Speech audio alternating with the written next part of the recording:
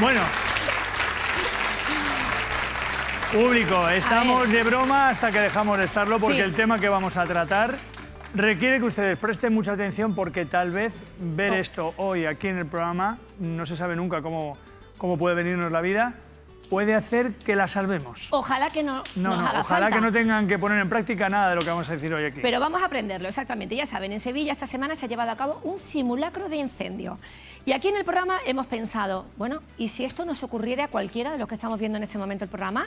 ¿Sabríamos cómo actuar? Pues vamos a aprender a hacerlo con dos auténticos expertos. Adelante, Juan Manuel, José Manuel Palomo y bienvenido Rodríguez.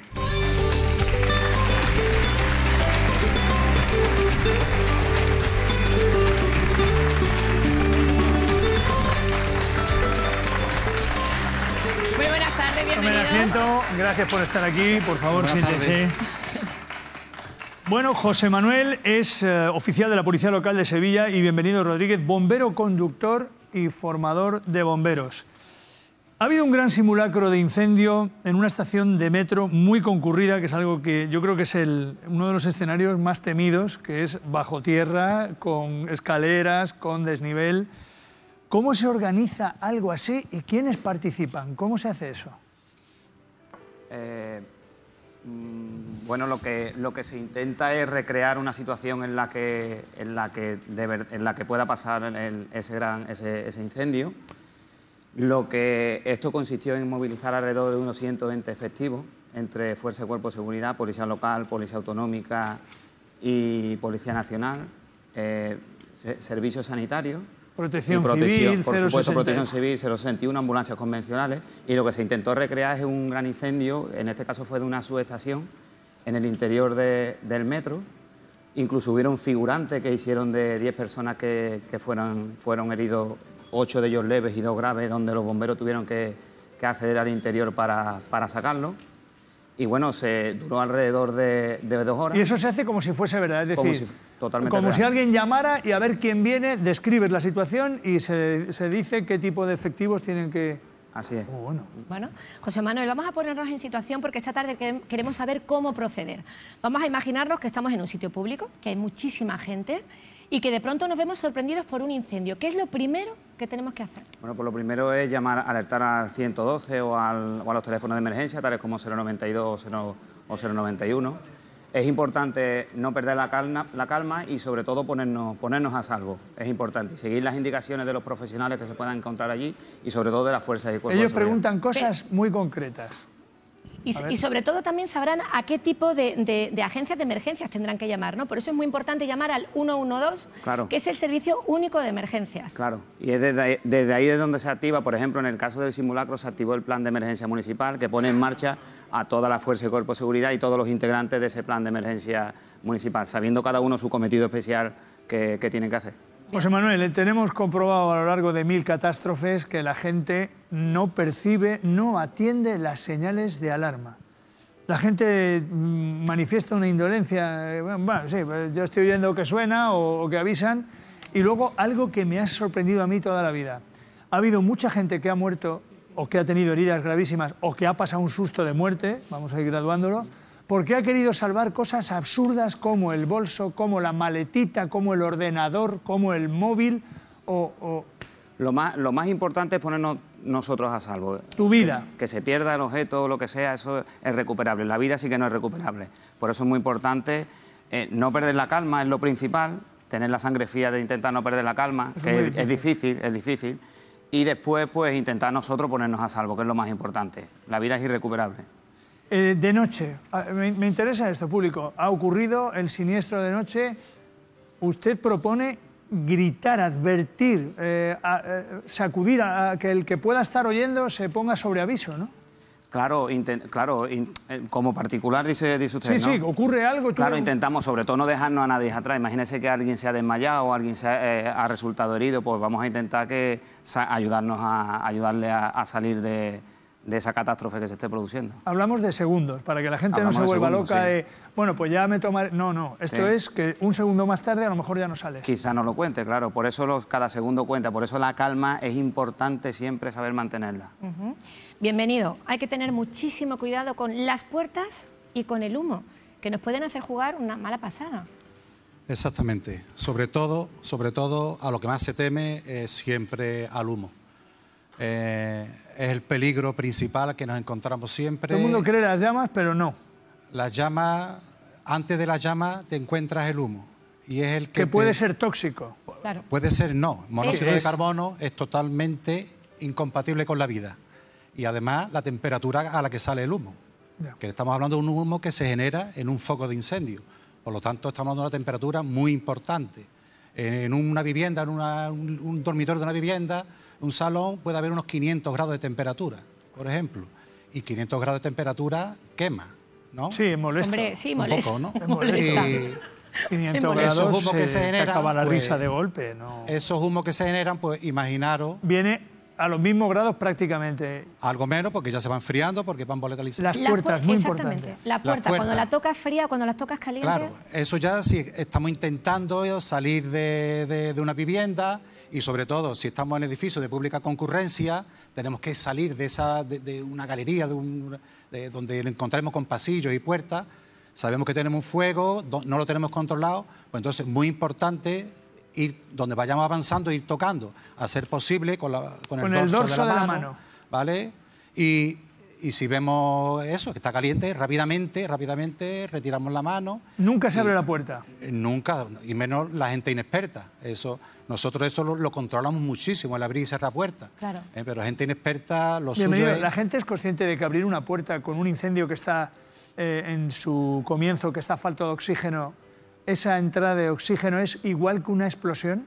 aprovechando hoy la oportunidad que tenemos y una cosa, eh, sobre todo porque es que nos pasa a diario y más ahora en la época que viene, la cantidad de incendios que tenemos, aunque parezca mentira. Por los braseros, etcétera, etcétera. ¿eh? Entonces, eh, se produce un incendio en, una- en un piso, en el primero, en el quinto. Por favor, que nadie salga de sus casas, exceptuando los del incendio, si pueden salir. Claro. Pero el resto, por favor, que no salgan de las casas. ¿eh? Estamos hablando de Sevilla capital. Tenemos una media de 3 a 6 minutos para llegar a cualquier lugar de Sevilla. En 3 o 6 minutos, que esté tranquila la gente que estamos nosotros ahí, desde que recibimos la llamada. Entonces, por favor, que nadie... La gente, tú estás en tu casa y estás tranquilo, estás protegido. Los humos, ¿dónde van? Efecto chimenea y me Exactamente. ¿Qué inundan los huecos de el escalera. humo? Cuando ya tenemos humo, lo mejor es, porque hay veces que pensamos que lo más rápido es salir corriendo, pero Claro, pero salir corriendo a dónde? Donde están todos los humos, tóxicos, calientes, nos quedamos ahí. Y nos ¿De agachamos si es posible. A ser posible, si estamos, tenemos que atravesar una habitación de un sitio a otro, está claro que tenemos de irnos a la parte más baja de... de- Intentar gatear. Claro, claro, los humos empiezan a condensarse por la, por la- Trapos parte alta húmedos y en nariz y boca, por ejemplo, ¿no? ¿Perdón? Trapo húmedo en nariz y boca Claro, para no inhalar, claro, o sea, para que actúe que- como un mínimo filtro. Claro, intentar un tipo de filtro para que el humo que va a haber, pues que nos proteja. Y donde más tiempo tarda en llegar el humo es a parte baja. Por, de eso es, por eso tenemos que acercar, que agacharnos para. Pedir ayuda por la fachada. Claro, por eso digo que nos quedamos en casa, nos quedamos en casa, por supuesto, si no nos avisáis no podemos ir a un incendio. Ah, no, claro. ¿vale? No estamos por la ventana viendo si hay humo en, en la avenida. ¿vale? Se avisa y... Entonces nos avisan, si no puedes salir de tu vivienda por el incendio, por el desarrollo que haya, pues me tengo que hacer visible. ¿Cómo? Pues me voy a una ventana y Una sábana, algo, algo de dimensiones avisar. que se pueda agitar en para llamar la atención. visible. Porque ¿de a lo mejor el fuego no se percibe desde fuera. A lo mejor el fuego es- Claro, está depende todavía si hay propagación exterior, dentro. si no, y, pero sobre todo eh, llamar la atención desde fuera si no hemos llamado por Vale, ahora yo estoy en la cocina eh, o estoy manejando un líquido que es combustible, de estos que se llaman aceleradores, Sí, sí, sí. y eh, me ha caído en la ropa o, o- o- o ha explotado un bote de colonia o de alcohol o lo que sea por efecto del calor y me ha caído en la ropa, me está ardiendo la ropa. Muchos tejidos son sintéticos Ese es el problema. Ese y, es el se, problema. y arden como la tea, como se decía antiguamente, arden como la gasolina. Yo ya tengo eh, fuego en el cuerpo, que de hecho los tengo. bueno, a lo que vamos. ¿Qué hago? Pues en principio, si tenemos agua a mano, pues agua. Y si no, pues intentar eh, rodearnos con una prenda de abrigo, Manta, cualquier, a ser r- posible que al no, sea, suelo. que no sea sintético. Claro, ¿vale? porque si no te Como última igualmente. opción, pues eh, el dicho ese de dar, voltearnos en el suelo. Intentar quitarle el oxígeno a la parte que está ardiendo. Claro, por Que eso Hay mucha es- gente que se lía a sacudir y lo que hace... es yo- prenderse más, quemarse Claro. la mano, en fin. Eh, A- al hilo de lo que dice el compañero bienvenido, es importante la labor de prevención y de enseñar a la población a saber hacer esas cosas. Por ejemplo, si vamos, vemos el portal Emergencia, eh, Emergencia Sevilla, es importante la labor de prevención que se hace desde ahí, que hace la policía local, a la hora de también dar consejos y bomberos a la, a la hora de dar consejos de cómo hacerle frente a José un, Manuel, a un yo he visto los extintores guardados en los armarios como si fueran los mantecados del año pasado. Pues el extintor tiene que estar a mano, pero Claro. como no decora, como es algo, dice, "Uy, qué feo es un extintor, se ha dicho toda la vida. ¿Cómo es tu novio? Más feo que un extintor. Vale. Toda la vida se ha Eso dicho. se ha dicho toda la vida. Toda. En Almonte. Bueno, a lo que vamos. Eh, me lo contaba María. Eh, esto, el extintor no cuesta. eh, ¿Cuántas cocinas se encuentran ustedes con un extintor a mano? Yo creo que ninguna. Ninguna. Rara las personas que tienen su extintor en casa, lo que sí están obligados un bloque de vivienda a tener extintores en todas las plantas que, Sí, sí. que solucionan muchas veces un conato de incendio. Para Eh, todos nunca- esos mayores que nos están Sí. viendo en este momento y que, y que viven solos, porque muchos viven solos, ¿qué consejos podríamos decirles por si se ven en una situación así? Hombre, importante, importante el, el teléfono siempre a mano para llamar a 112, ¿vale? Curiosamente, como ha dicho el compañero, si podemos escapar, escapamos, pero cuando tenemos un fuego en un inmueble, en una casa, lo lógico y lo, sería no abrir la puerta, por lo que pueda pasar, por la mezcla del oxígeno con el fuego que puede, puede hacer el efecto chimenea. Siempre que escapen para abajo y nunca para arriba, por aquello de que arriba no sabemos Nunca si el está- ascensor. Nunca, Nunca. jamás el ascensor y nunca las escaleras para arriba tampoco, porque no sabemos si Hay arriba... gente que dice, yo me subo a la azotea, como hemos visto Claro, tantas no sabemos películas, si- me subo a la azotea y me cojo un helicóptero. No sabemos si está abierta, si está cerrada y después que el humo tiende siempre a subir para arriba. Nos deja inconscientes y en segundo nos puede, nos puede matar. ¿Alguna cosa más? Bienvenido para...